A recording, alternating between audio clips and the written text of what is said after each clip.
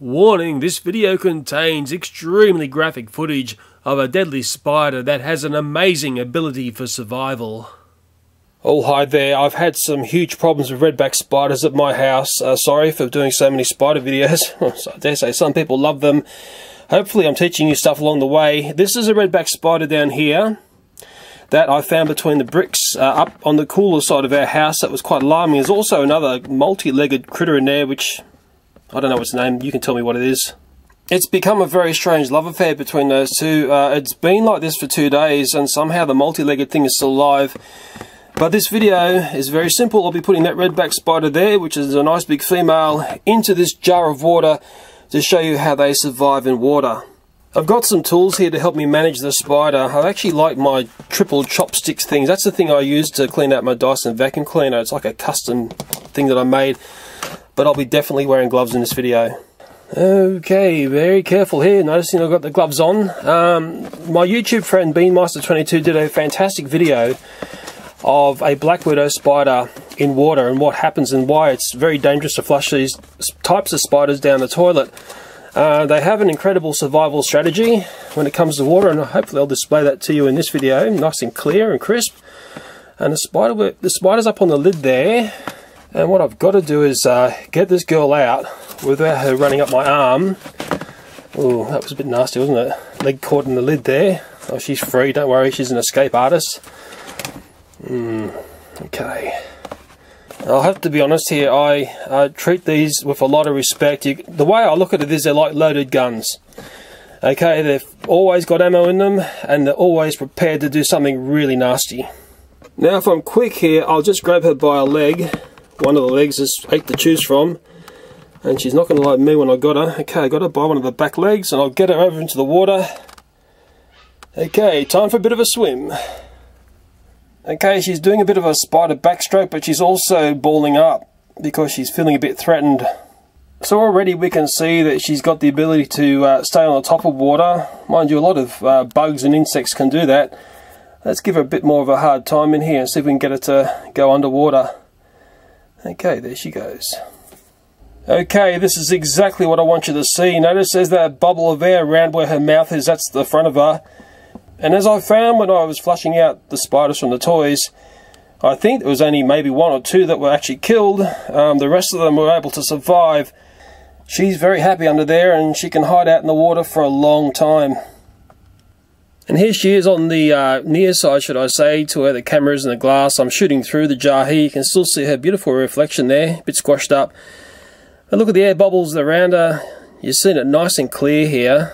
And it's, well, apart from the reason why you don't flush spiders like this down the toilet, it's probably another reason why you don't go swimming in pools without having a very careful look at what's swimming around inside first.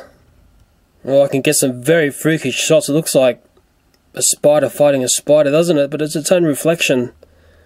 That is just so freaky. Look at the air bubbles around that too. Be afraid. Be very, very afraid.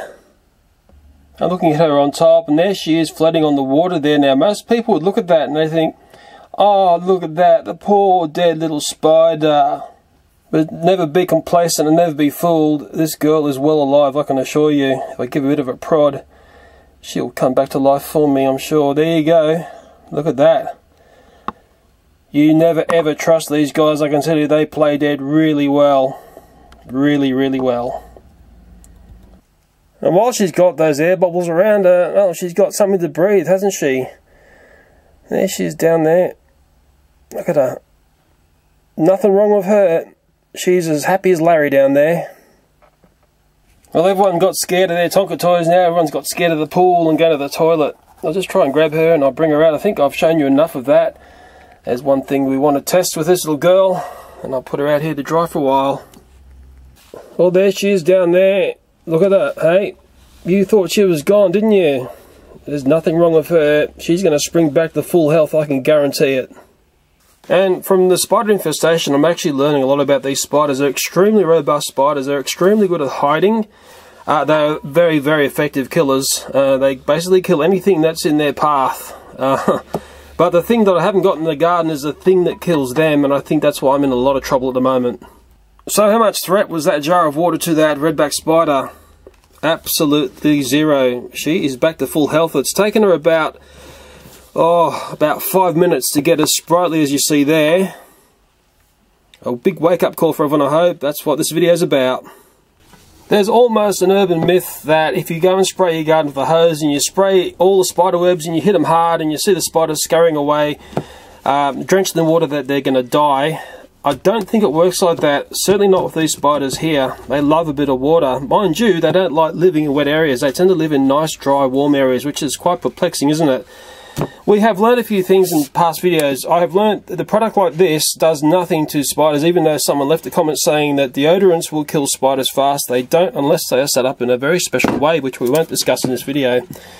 People say a product like this, WD-40, I think it's known all over the world. I'm not sure whether that uh, uh, kills spiders, and other people say it also deters spiders. I can't read it saying that in what it can and can't do. Maybe you can tell me more about that. Maybe I need to test that one things like this, I don't think so. I mean, I get some of the strangest comments because, well, welcome to YouTube. I certainly know a product like this is actually very good. I've had much success with this sort of product. And notice it's a red back there. If you see an American branded product, you'll see a Black Widow. They just basically add a red dot for us, I think. Uh, I like a product like that. And the way that it sprays long distance, yes, I've used that. Now, the one we're going to test at the moment is this one here, methylated spirits. I saw a comment, I don't know whether I'm going to find it. One spray of this stuff here will hammer that redback spider instantly. Let's see if it's true. Methylated spirits, uh, in Australia we call it metho. I don't know what it's called overseas. There's probably different names for it overseas. Maybe people call it alcohol. It does say that it's just ethanol solution there with a UN number. It also says it's a flammable liquid. And it also says there, product use, window cleaning, burner fuel and general cleaner. Now what I can't see in that read is something like that or a picture like that there. It does have me curious. It is an interesting suggestion, I must admit. You have to be very careful with this stuff because when it's on fire, it's actually very hard to see. What I have done is I have decanted some of the methylated spirits into this spray mister here, which is already primed. And Mrs. Deadly Redback Spider down there is about to have a date with Destiny. Okay, what I'm going to do is just give it one squirt. I'm not going to go overboard because I'm pretty sure the person said it takes very little to kill spiders. Okay, here we go. Sorry about this, Mrs. Spider, but there are far too many of you about. Okay, that's one squirt. Now let's see what happens. I'll be quite honest here, I can't see her balling up or being in any massive distress. We'll just keep watching this. I dare say she's feeling a bit cold because it will evaporate away. I'll let a bit more time play out and see what goes on. I'll just turn the jar lid around. She's doing circuits in there. Uh, she's not moving that fast. Mind you, she's getting up a bit of speed now. Uh, put it this way. She hasn't like curled up like spiders do, drag their legs in and looking like she's about to die. Uh, she's just stomping on as if nothing has happened. I honestly think we're dealing with another YouTube myth. Uh, you see a lot of comments about spider control. I think there's not many of them you can actually take that sincerely. It's sort of a little bit sad um, because I think you really need to understand how to control these because they are such a dangerous spider. Well, little moments there where she has a rest, but I'm pretty sure there's nothing wrong with her. Yeah, look at that, she's fighting fit. Well, Metho uh, has done nothing to this girl. Um, in one way, I'm surprised, and another way, I'm not surprised. And then I know people say, "Oh, but Leo, you meant to have set her on fire when you put the Metho on her." I'm actually looking for something that is an effective control. I think we need to understand this. Uh, I mean, obviously, the Rexona, when it's on fire, is actually, I think, has been one of the better control methods that I've got, and I've, I'm starting to learn how to use that very effectively. Uh, the Metho spray uh, does not work. And maybe if I pour the methylated spirits in there, we might get a different result, or she may just swim around. Let's just see. I can tell you one thing, I'm not seeing the air bubbles like I saw with the water, and she's still moving. Uh, mind you, I don't think she's that happy at the moment. Yeah, she's now rolled onto her back. Mind you, notice how robust she is, she's still kicking. Once again, this isn't fast. We're about a minute down after pouring it in there, and she stopped moving. Okay, she's still now. Let me just see if she's got any life left in her. Oh, no, there you go. She's still moving. She's just playing dead in there. That is alcohol she's in at the moment. Maybe she's just holding her breath. I don't know how these guys work, but I'm really surprised that she's still kicking. I'm going to leave in there for about five minutes. Then I'm going to pull her out and we're going to see if she's still alive. One or two things will happen. Either she'll be dead or she'll be as drunk as a skunk. Exterminate. Exterminate. I've just made myself a coffee. Let's come back and see if Mrs. Spider has survived five minutes in the methylated spirit. And it's definitely glove time again. If you're a gambling person, what are you going to say? Dead or alive, hey? Dead or alive? What do you think? Giving a bit of a prod there. Sometimes they'll start to move and do things if you give them a prod. Five minutes in the metho. But that's why I don't think she's as sprightly as she used to be. Maybe I'll drag her out and see how she performs if she starts to dry out. Come on, Mrs. Spider, come with me. And I'll put her down right here. Doctor Who fans are going to be very happy. Do you think she's dead? Do you think she's alive? Or is she just mucking around with us again? Mm. curious spiders, uh, when they do, if like if you spray them, they don't ball up, like pull their legs in everything, anything like you see other spiders do. I don't quite understand why. Um, I'm not really seeing any movement out of her there. Maybe if I ride her onto her top side, it might give her a bit of a bit of a, a thing to you know, get moving again. There.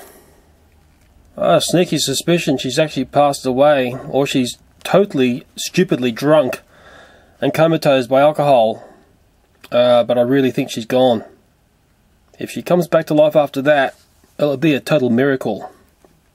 I actually um, don't believe what I'm seeing. I'm sure this spider's moving. Uh, I, I think it's coming back to life. I think it's basically held its breath in the metho and it's coming back to life. This thing is a zombie spider. As frightful as that sounds, the zombie spiders are going to take over the world. I have got the biggest goosebumps on my body that I've ever had. This thing is unstoppable. It is coming back alive. Okay, the redback spider, deadly spider.